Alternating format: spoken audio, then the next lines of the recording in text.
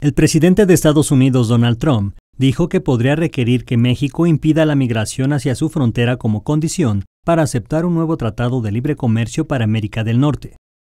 El mandatario reiteró su queja en el sentido de que la situación en la frontera sur se está tornando inaceptable, justificando así su llamado para construir el muro, pese a que las cifras dan cuenta en general de una caída en los flujos migratorios a través de esa frontera. México, cuyas leyes de migración son más duras, debe detener a gente yendo a través de México hacia Estados Unidos. Quizá tengamos que hacer esto una condición de un nuevo NAFTA. Nuestro país no puede aceptar lo que está pasando. En un mensaje en su cuenta de Twitter, Trump indicó que frente a esta situación, también debemos tener pronto financiamiento del muro. En otro mensaje, el mandatario dijo haber instruido a la titular del Departamento de Seguridad Nacional, Christian Nielsen, a que no deje entrar a nuestro país a estas largas caravanas de gente. Es una vergüenza, somos el único país del mundo tan ingenuo. Muro.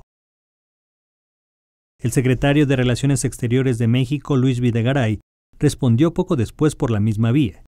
México decide su política migratoria de manera soberana y la cooperación migratoria con Estados Unidos ocurre por así convenir a México. Sería inaceptable condicionar las renegociaciones del Tratado de Libre Comercio a acciones migratorias, fuera de este marco de cooperación.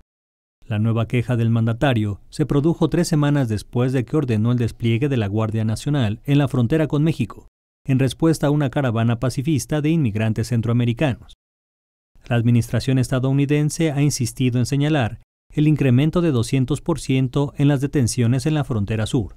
Sin embargo, cifras del Departamento de Seguridad Nacional han mostrado que los arrestos de la patrulla fronteriza en el año fiscal 2017 se redujeron 24% respecto del 2016, la cifra más baja en 46 años. Notimex.